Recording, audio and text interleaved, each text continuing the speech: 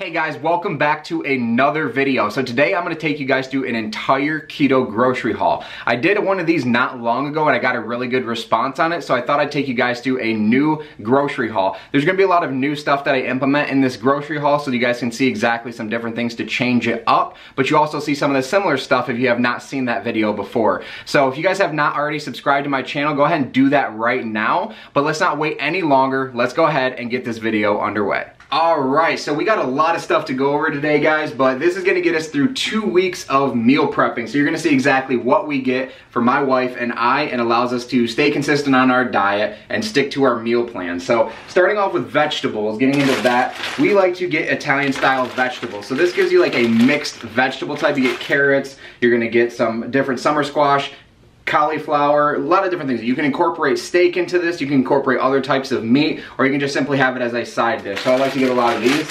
Um, I did also pick up broccoli steamables. Now the reason I do the broccoli like this rather than a head of broccoli is it makes it that much easier when you're meal prepping. Now don't get me wrong, I love to have regular broccoli and just cut the florets off, but it's just not as quick as doing one of these. The downside of these is you get a lot of those nasty end pieces of the broccoli, but it's okay, it gets you through it, it makes it a lot easier. And on meal prep, doing things that are easier makes it that much easier to stick to your diet. So I got four of those. Um, we did try something new this time around. We got veggie made um, riced cauliflower. The macros were actually really good on these. It was zero grams of fat, only one gram of net carb, and two grams of protein. Um, it's basically cauliflower just riced up. I could have done my own, but once again, guys, it's that easy piece that makes it that much easier to meal prep. So I'm gonna try this. Um, if you guys have tried this before though, go ahead and leave a comment below and let me know what you think about it.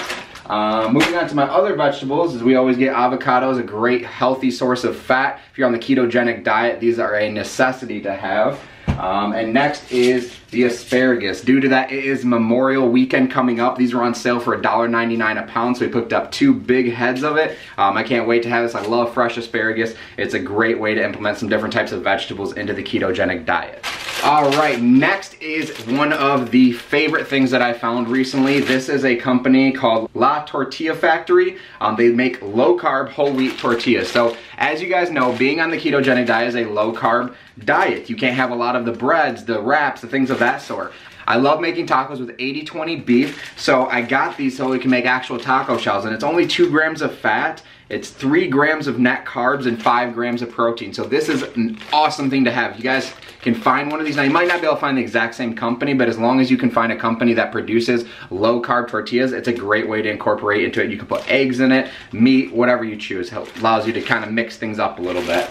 All right, we also got sour cream. Um, this is really good with the tacos as well. You can put it inside the tortilla shell with the uh, meat, or you can also, there's a lot of recipes that call for sour cream on the keto diet, so this gives you just another tool resource um, to use to make a couple different recipes.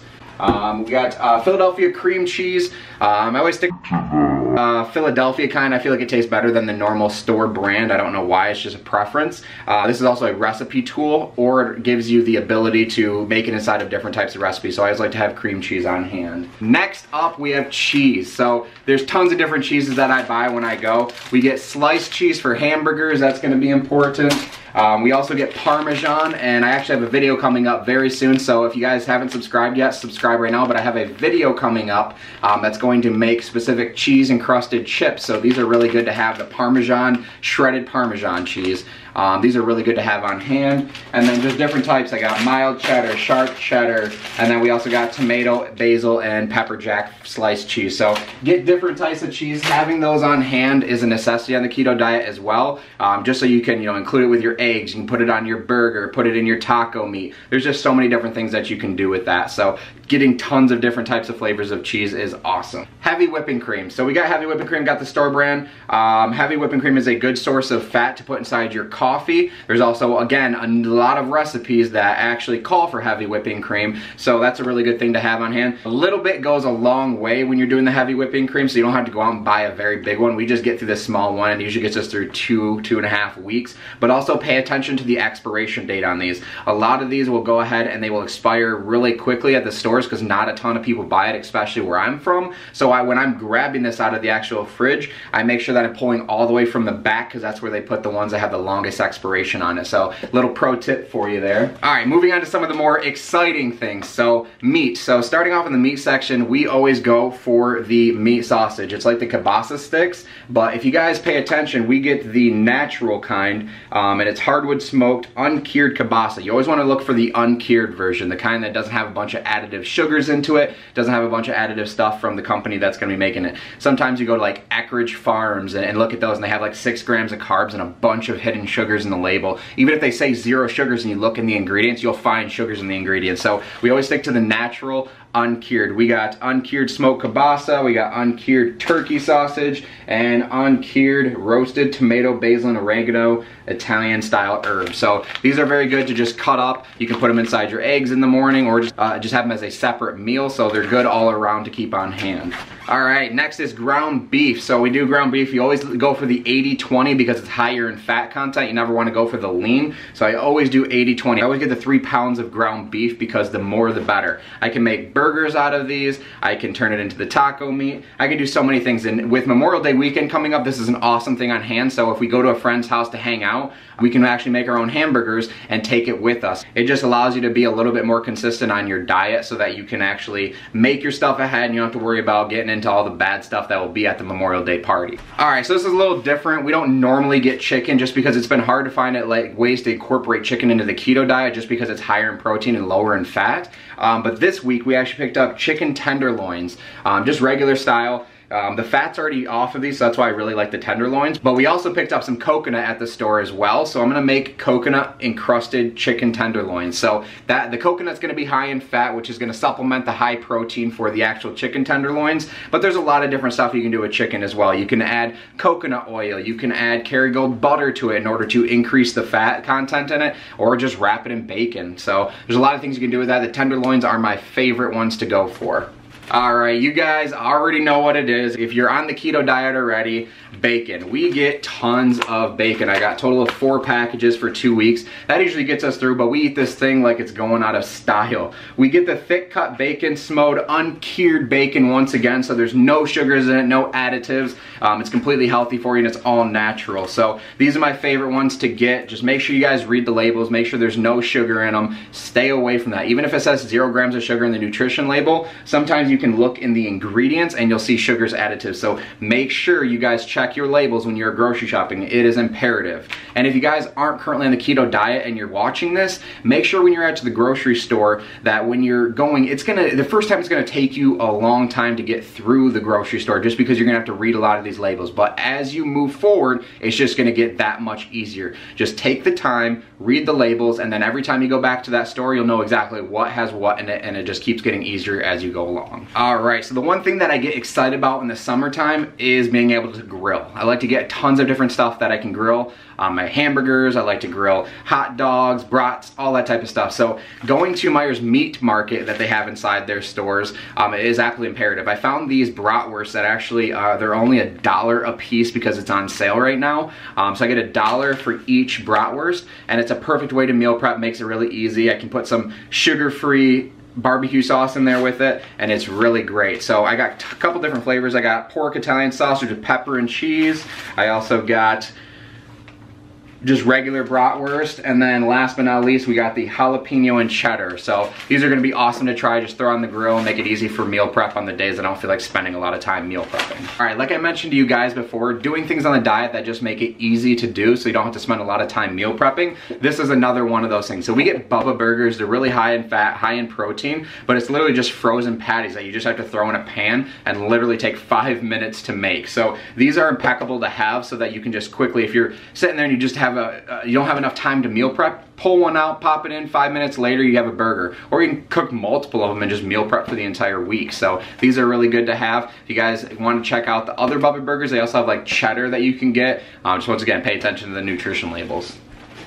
Next we have tuna. So I always get tuna, I get the tuna in water. Now tuna is another one that's going to be higher in protein, so we gotta find ways to get fats in there. If you guys haven't already seen my video on tuna patties, I'll go ahead and link that up in the cards right now for you to check out. But even if you don't like tuna, it is an absolute amazing recipe to make. So check that out, but make sure when you're buying your tuna, you get the tuna in water, not in oil, just adds unnecessary calories and unnecessary macros that you don't need. So always stick with the in water version pepperoni. So I'm pretty excited about getting pepperoni this week because I actually found a recipe to make mini pizzas out of cheese and pepperoni. So I'll be making those soon and hopefully I'll make a video um, around that. If you guys want to see that video, go ahead and leave a comment below and I'll make that for you guys and show you what it looks like. But we can use pepperoni for many different things. You can use as a snack. It can just be used as something that you can put it within cheese. You can add different types of flavored cheese with it. So there's a lot of different things you can do with pepperoni. Um, it's a good high source of fat as well. All right, so the last thing for meat we have is chicken wings. So I always like to get these because they're really easy to take with you if you go to someone's house or if you're grilling out for the weekend, just makes it that easy. It's kind of almost, I almost look at these as almost a cheat meal for me, but also staying clean on the keto diet. I'll go ahead and mix different seasonings in it, but I also found some Parmesan garlic seasoning that I can put on it that's really low in carbs, low in fat, low in protein. So this is another good source of protein to get, and you just mix some seasonings with it to increase the fat.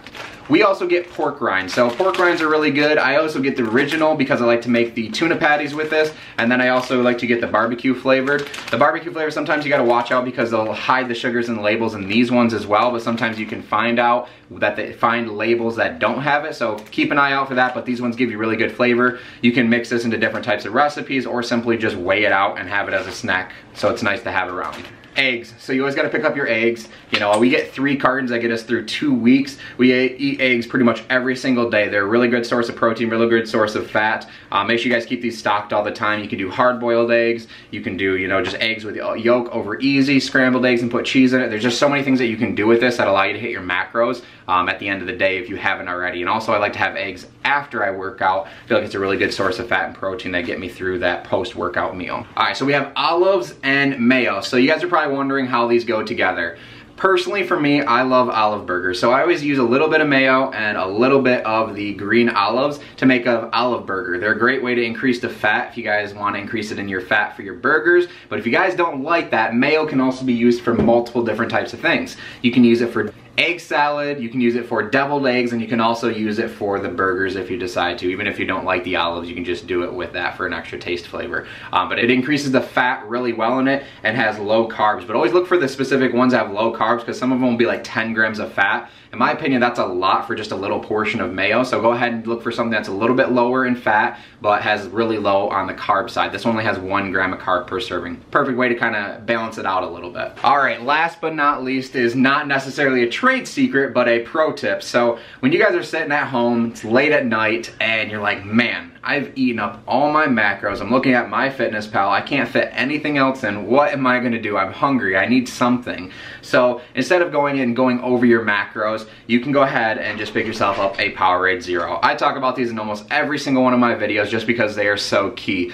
They got the grape flavored. You can get fruit punch. You got orange flavored, blue flavored. They're all really good. But go ahead and pick yourself up the Powerade Zero. If you're sitting at home at night and you're just hungry, this is something that kind of curves your appetite and allows you to get through that hunger period period and continue your fast. So I think this is absolutely impeccable to have on the diet. So we always pick up a bunch of these when we go to the store. I didn't put them all out on the table because I couldn't fit them all on there, but we pick up a bunch of them. So make sure you get the Powerade Zero. Alright, so that basically wraps up the grocery haul. I hope this video wasn't too long for you guys. I like to try to keep these ones short, um, just so it makes it real cut to the dry. You guys can see exactly what I get. So if you guys are thinking about going the keto diet or you're already on it, this is going to be a perfect way to get started. So just take time, read the labels, pay attention to them, make sure that you're not getting the added sugars in a lot of the different types of foods, but make sure you plan before you go to the grocery store. That's one of the most important things ever. Um, I just want to shout out and say thank you guys so much for the continued support. This channel has been absolutely blowing up recently and I, I just got to give it out to you guys. So I want to say thank you for your continued support. Thank you for following me on social media. If you aren't already following me on social media, go ahead and do so. If you guys like these types of videos, go and smash the thumbs up button. If there's a video I haven't done yet and you would like to see, go ahead and leave that in the comment box below. But once again, thank you guys so much for watching my video and sharing it across all platforms. I look forward to seeing you guys at the very next video.